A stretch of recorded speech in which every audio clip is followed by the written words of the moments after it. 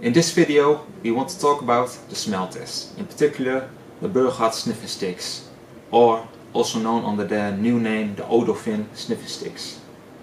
These smell tests are uh, done with sniffing sticks.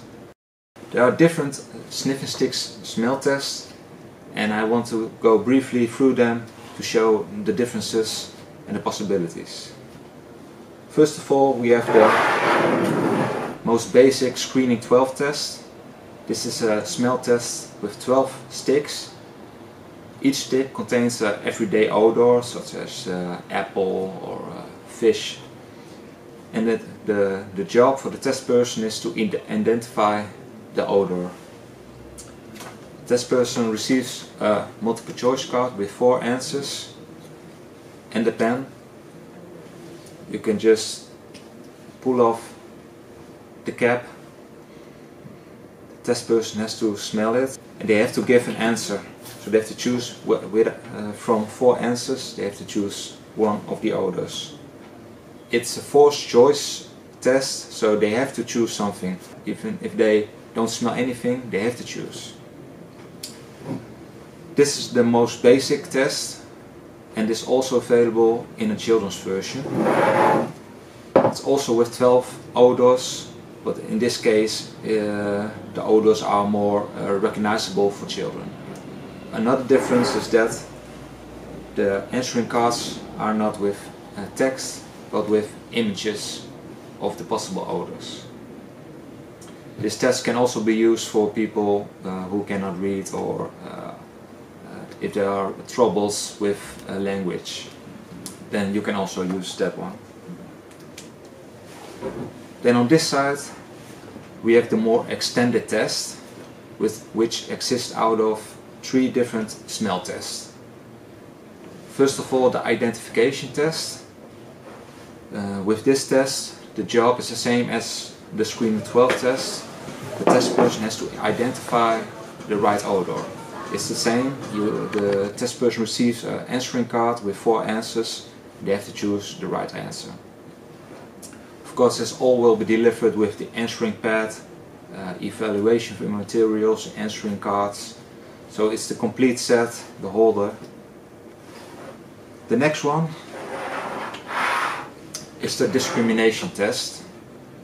And with this, the test person uh, has to decide which odor is different from the other.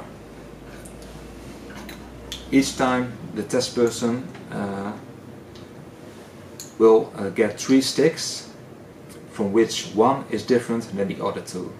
It's the job of the test person to identify the different one. So you can determine if someone can discriminate between odors. As you can see, it's 16 uh, odors, so 3 keer 16 uh, bands will be offered. The last one is the threshold test. In this case we have the threshold test with the uh, smell of uh, 2-phenyl ethanol. It's a rose smell. And with this test it's the job of the test person to identify uh, an odor and to determine to which extent one can smell. The test will start with no concentration and will build up to the higher concentrations until the test person can smell something. When a test person smells uh, the odor twice in a row, then that's the start position of the threshold test. Uh, this threshold test is available in the uh, 2-phenyl ethanol version, also in the N-butanol version.